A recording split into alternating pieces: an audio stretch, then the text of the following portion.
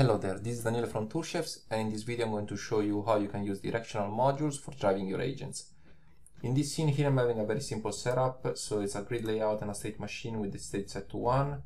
My agents are going to just, just be walking straight. And I want to do what I want to do here is uh, uh, I want them to follow this curve that I've already created. To do that, I'm going to add a follow curve module and I'm going to drag and drop this object with the middle mouse button from the outliner to the curve attribute.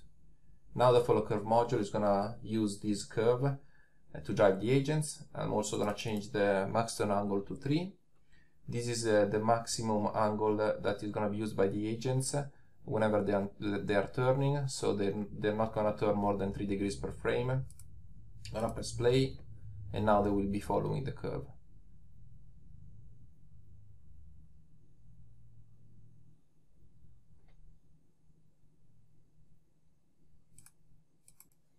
What I'd like to do now is also to have the agents uh, avoiding these boxes here. If I press play, you'll see that they will be actually intersecting with them.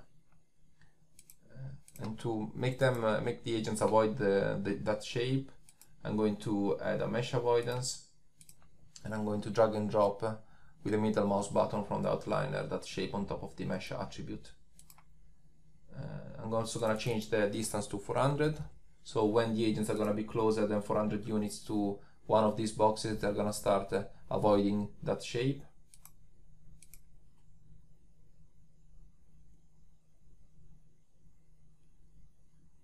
So as you can see, they're avoiding the shapes, but they're not avoiding each other. So for instance, these two agents are uh, going one on top of the other. And to make them avoid each other, I'm going to add uh, an agent separation module I'm going to change the distance to 300 and max turn angle to 4 and the steering force, separation force I'm going to leave it to 0.5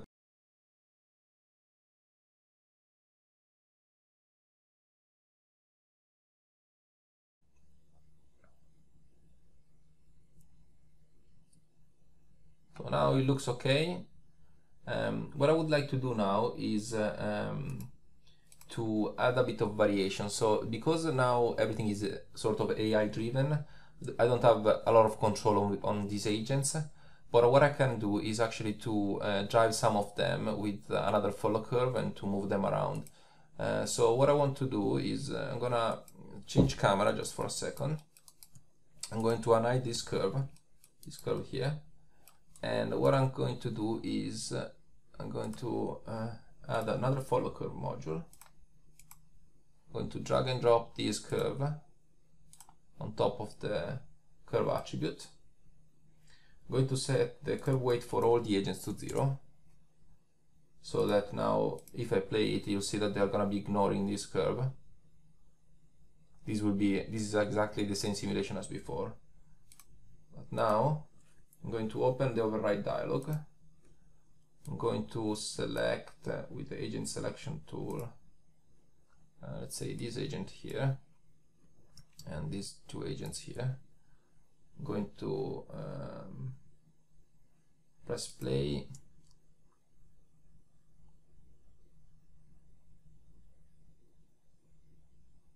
And here I'm gonna set a keyframe for that guy.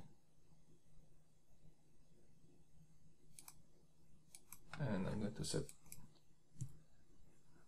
another keyframe value of 1 there. Then I'm going to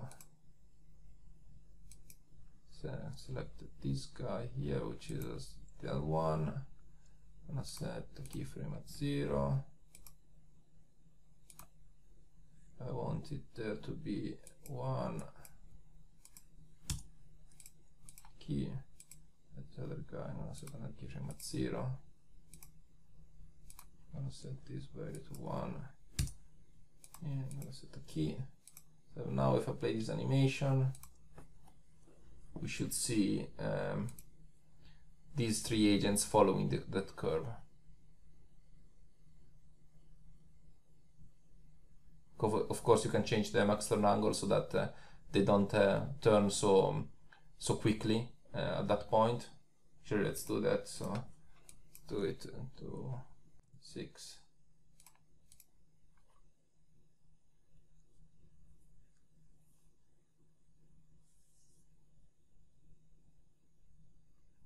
okay now looks a bit better but you can still experiment with those values and uh, make them look as you want. I'm gonna go back to the camera I was using before just to double check the result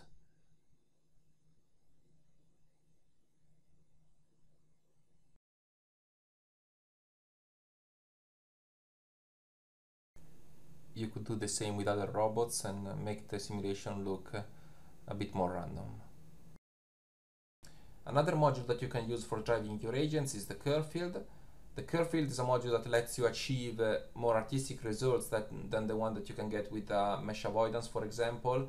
Uh, what it does is uh, it creates a vector field with the curves that you provide and use, uses that vector field for driving your agents.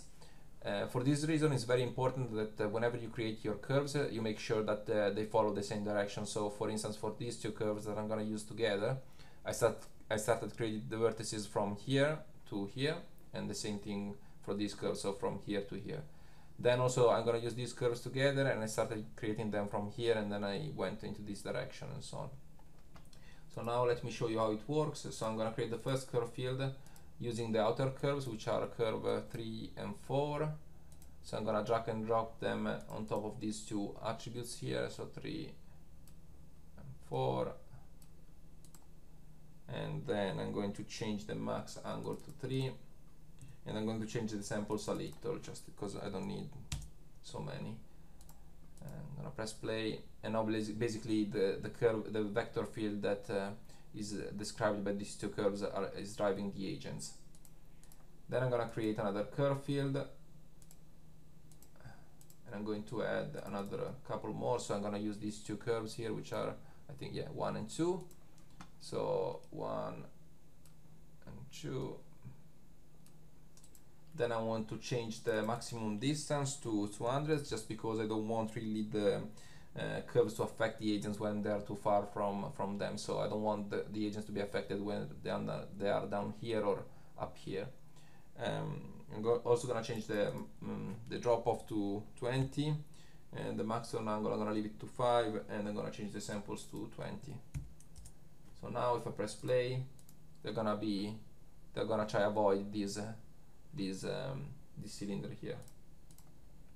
I'm gonna add another curve field gonna add uh, just uh, one curve and I'm going to drag curve uh, 6 this just to show is uh, this one.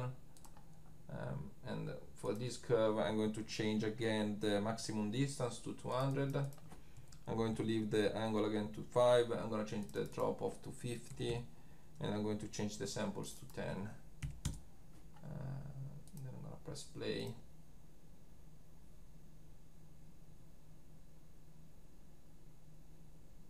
course, you can experiment with these uh, values. You don't really need to use the same values uh, that I'm using here. Here I just made some tests and just to make this a bit more quick. Um, then I'm gonna create another curve field. I'm gonna just for the last cylinder here, I'm gonna use um, the last curve that is missing. So curve five. Then I'm going to change again the maximum distance to 200 the drop off to 20 and the samples to 10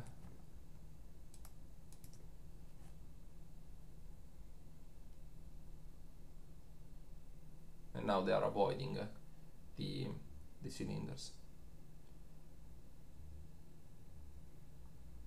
So this is everything for uh, this video about uh, driving your agents with uh, directional uh, modules. Thanks for watching.